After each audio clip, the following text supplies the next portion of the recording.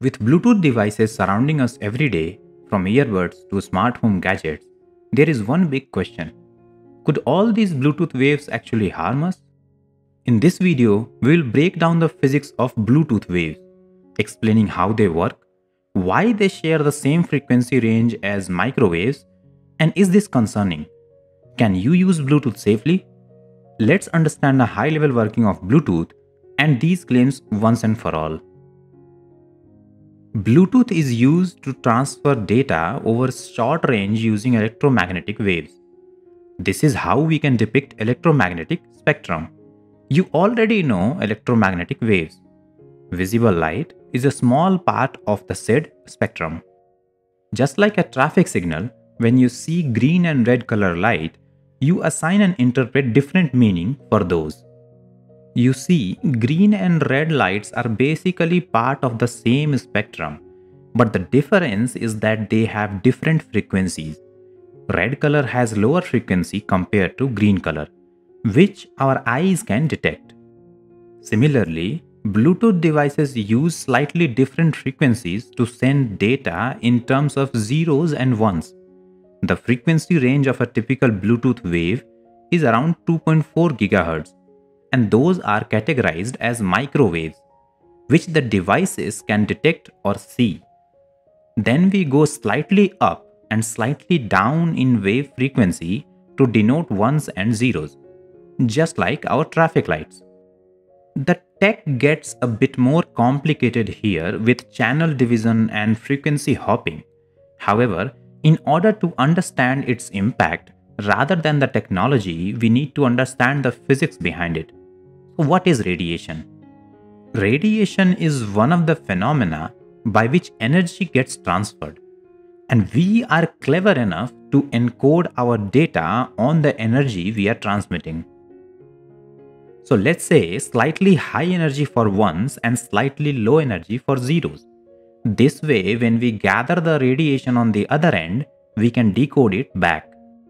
Imagine an electron you can transmit a beam of electrons which is known as beta radiation. In the similar manner, we can transmit beams of protons, neutrons or helium nuclei known as alpha radiation. In our case here, for electromagnetic radiation, the carrier particle or packet is known as photon. As we know from the famous duality principle, everything is a particle and a wave. However, that's a discussion for another video. Now, these packets such as a photon contains energy and that is given by this equation.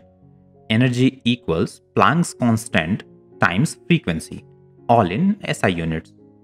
As you can see from the equation, lower frequency gives lower energy photon packet and higher frequency gives higher energy photon packet.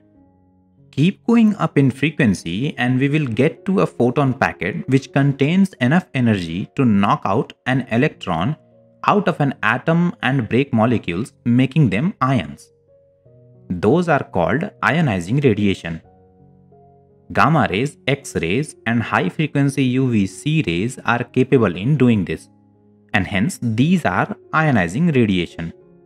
But frequencies lower than UVC does not contain enough energy per packet to ionize. So they are non-ionizing radiation. And the Bluetooth wave around 2.4 GHz comes under microwave radiation, which has a lower frequency than UV rays and hence it is non-ionizing. Ionizing radiation are the ones which typically causes cancer and other issues because they can change the structure of atoms in your body. However, just because a radiation is non ionizing does not mean that it cannot harm you. As you know, a microwave oven cooks food using microwave part of the spectrum, which is non ionizing. So, how can they do that? In order to understand it, let's move away from radiation and focus on waves where does a wave stores its energy during transmission? Remember this equation for energy of photon? If you compare a wave you must have observed in regular life, you can notice that something is missing here. Imagine you are doing a rope exercise in gym. where one end of the rope is tied to a wall and you are holding another end and creating a wave by moving it up and down.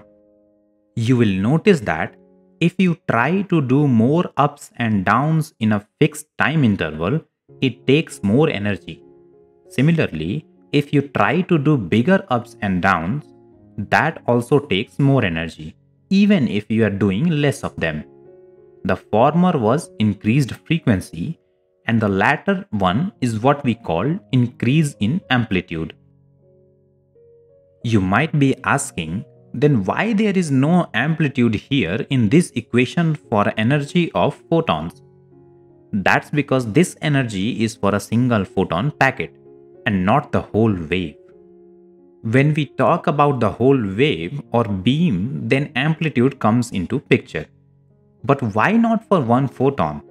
Well, the details lies in the difference between quantum and classical mechanics, which is out of the scope of this video. Now, remember this interpretation?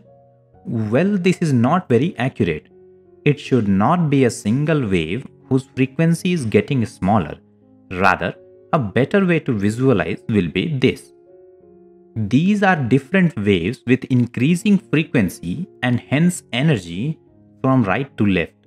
However, if we take one wave and increase its amplitude, that will also increase its transmission energy. And this is what usually people fail to realize. Let's understand it with easier to imagine wave, visual light. You see, the white light coming out of your typical screen or a bulb has almost exactly the same frequency as that of a stadium light. However, you can stand and look on the screen or a bulb from a distance of 1 meter, but you can't do the same with the stadium light. Why? The reason is amplitude.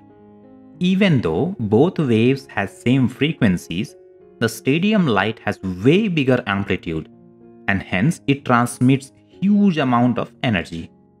This is exactly the difference between a Bluetooth wave and a microwave oven wave. A Bluetooth wave has a tiny amplitude because it does not need to transmit a lot of energy. Its primary job is to transmit data. A Bluetooth with a typical range of 10 meters has a maximum power delivery of 2.5 milliwatt. In comparison, the phone screen you are looking at typically output 400 milliwatt power. Not to mention, even with the same amplitude, the visible light will have more energy than Bluetooth wave due to higher frequency.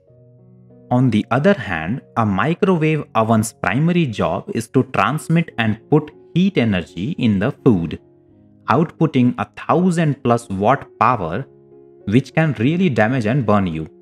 That's why we have shielding in the microwave to stop the waves from escaping.